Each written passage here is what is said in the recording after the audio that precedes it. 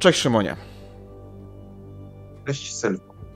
Mamy do omówienia kolejny tom z kolekcji Od Ashet Bohaterowie i Złoczyńcy DC.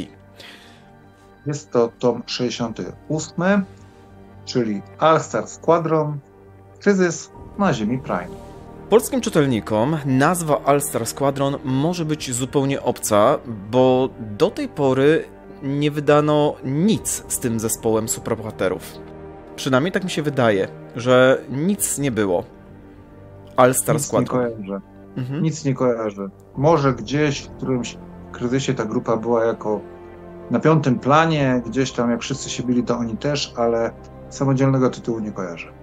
E, tak, ale na końcu kilka ym, takich odnośników e, pokażę, że jednak wcześniej mieliśmy coś związane z Alsa Squadron, ale po prostu nie skojarzyłem mm, do tego momentu. Warto jednak e, wspomnieć o tym, że All-Star Squadron zadebiutował w 1981 roku. Zadebiutował w tych latach, na początku lat 80., gdzie zwiastun tej grupy mieliśmy w 193 zeszycie Ligi Sprawiedliwości, kiedy tak się pojawili po raz pierwszy pierwsi ci członkowie wyselekcjonowani do tego oddziału, a później nowa seria pisana przez Roya Thomasa, która zadebiutowała we wrześniu 1981 roku. I nasz yy, tom od wydawnictwa Hachette właśnie zawiera ten prolog, czy to ten zwiastun tej serii, pierwsze trzy zeszyty nowej serii, a także tą tytułową opowieść, dziejącą się już jakiś czas później, chyba tam rok później, dobrze kojarzę. Yy, tak, rok później, która opowiada właśnie na tym, o tym kryzysie na Ziemi Prime, gdzie jest to crossover wydarzeń między All-Star Squadron a Ligą Sprawiedliwości.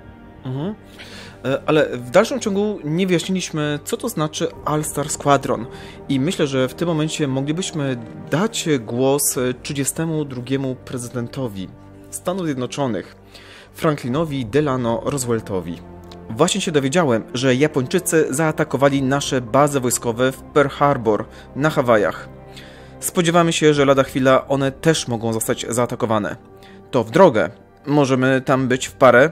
Nie, drodzy przyjaciele, nie po to was tu wezwałem, abyście wyruszyli za morze, a przynajmniej jeszcze nie teraz. Chcę, aby Stowarzyszenie Sprawiedliwości zmobilizowało wszystkich dostępnych w tym kraju bohaterów w kostiumach, mężczyzn i kobiety i utworzyło z nich jedną obdarzoną supermocami drużynę. Coś w rodzaju drużyny gwiazd, All-Star Squadron, że tak to nazwę, odpowiedzialnej wyłącznie przede mną. I w tym momencie już mamy bardzo ważną informację. Po pierwsze, kim jest e, All-Star Squadron, czy skąd, z, z jakich członków składa się drużyna All-Star Squadron. I druga informacja to to, że pomimo iż komiks powstał w latach 80., on opowiada o czasach O latach 40. tak, o latach 40. Zaczyna się w 1941 roku. Czyli mamy lata wojenne, drugowojenne, prawda? przed przystąpieniem Stanów Zjednoczonych do II wojny światowej. A skład drużyny obejmuje wiele postaci z okresu złotej ery komiksu DC, rzecz jasna. Autor serii, Roy Thomas, tworzy osobliwy i na swój sposób ciekawy miks wydarzeń historycznych, na tle których rozgrywa się fikcyjna historia superbohaterów DC. Dlatego można spotkać Supermana, Hawkmana i wielu innych na tle właśnie wspomnianych przeze mnie wydarzeń, jakim jest atak Japończyków na Stany Zjednoczone, na Amerykę, Pearl Harbor. I to jest tylko się, jedno z wydarzeń. To nie jest jedyne wydarzenie historyczne, które jest tłem dla tych opowieści, bo chociaż mamy kryzys kubański, tam mamy Fidela Castro w pewnym momencie. Mhm. No i dobrze, e, można Szymonie powiedzieć w tym momencie, że komiks składa się w sumie z dwóch opowiadań, z dwóch historii, prawda? E, Gdzie w sumie jednym z najważniejszych antagonistów jest niejaki Degaton. E, Możesz coś dodać? Gościu, Nie, ogólnie, Dobra. ogólnie.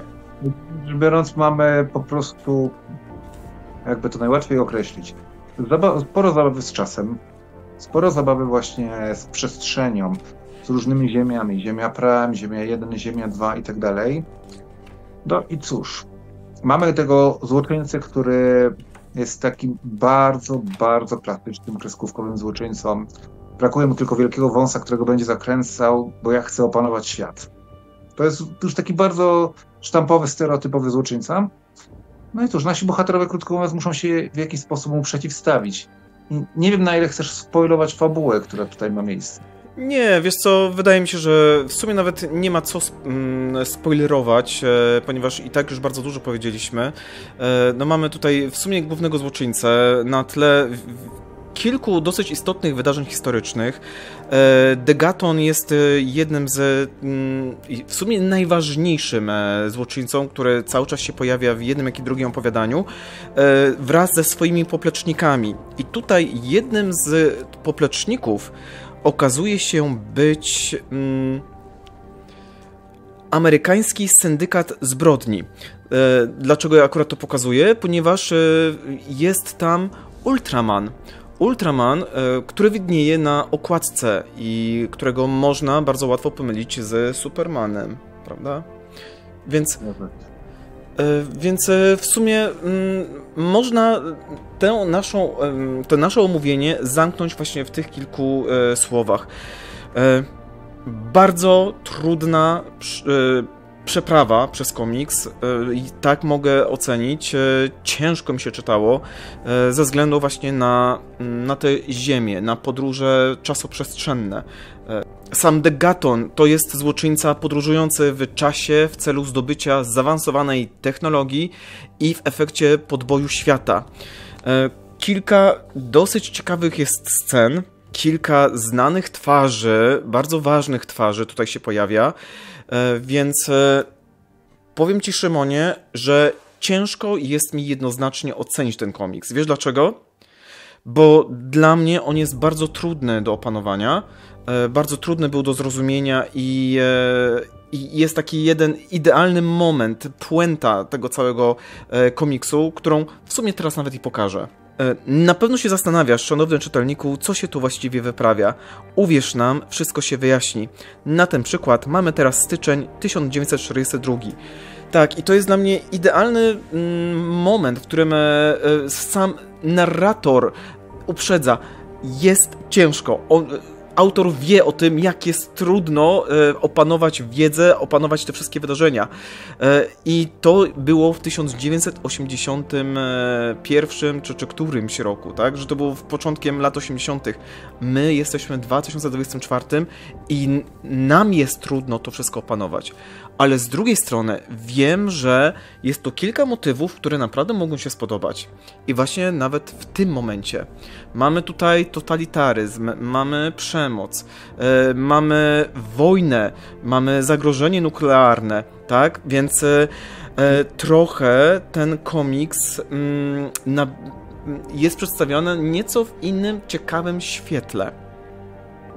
Zgadza się. Jest tu kilka takich właśnie aspektów właśnie związanych z historycznymi, to co mówiłeś o tym zagrożeniu nuklearnym, to może jest jakiś spoiler, ale powiedzmy nie dotyczy głównej fabuły, tylko takiego wątku bocznego, ponieważ nasz główny złoczyńca zabiera z przyszłości broń nuklearną i generalnie przenosi się, cofa się w czasie do 1941 roku, kiedy Amerykanie jeszcze tej broni nuklearnej nie mają.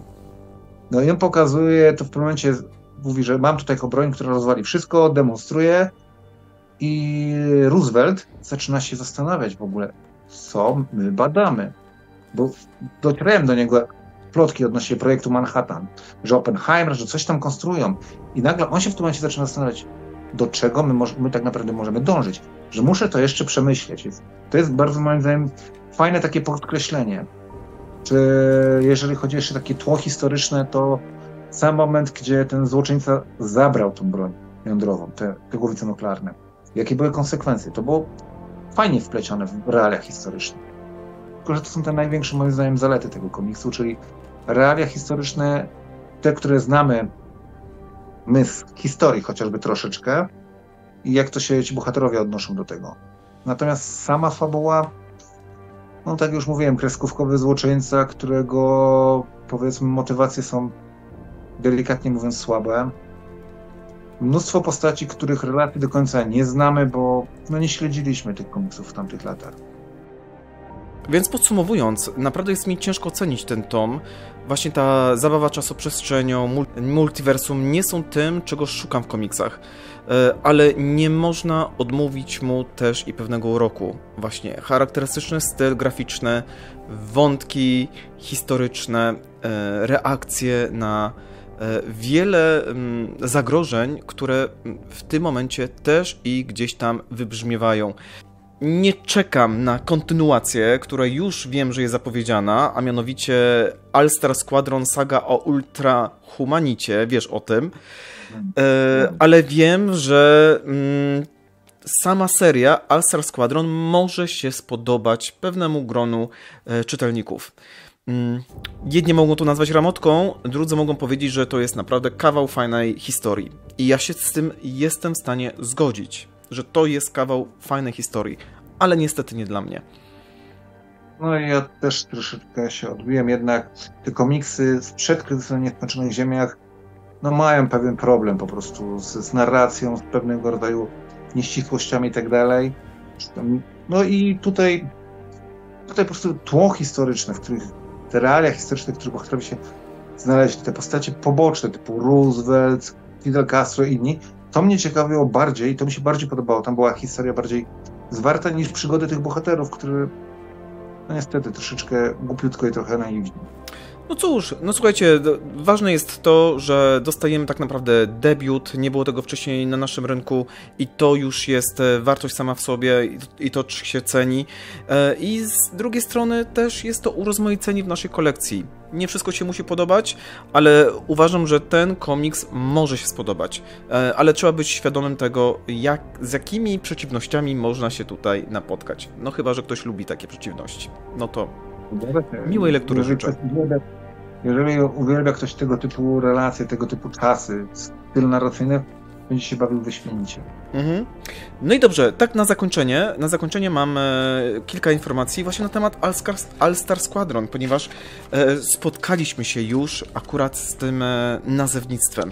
Spokojne lata działalności Stowarzyszenia Sprawiedliwości i All Star Squadron. To jest taki malutki fragment e, komiksu GSA Złoty Wiek. I mamy w tak. wielkiej e, kolekcji komiksów DC Comics i tutaj jest też rozpisane, co się wydarzyło do tej pory. Mamy kilka okładek i wśród nich znajduje się okładka występująca w e, Ashet. Bo to, jest, to są wczesne lata 40., więc tutaj mamy tuż po wojnie, po II wojnie światowej, e, kryzys na Ziemi Prime, tutaj mamy II wojnę światową.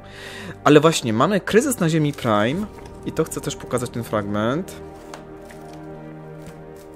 Tutaj mamy kryzys na Ziemi Prime, ale nie wiem czy wiesz, mamy komiksy Kryzys na Ziemi 1 i Kryzys na Ziemi 2. Też mamy w polskim wydaniu.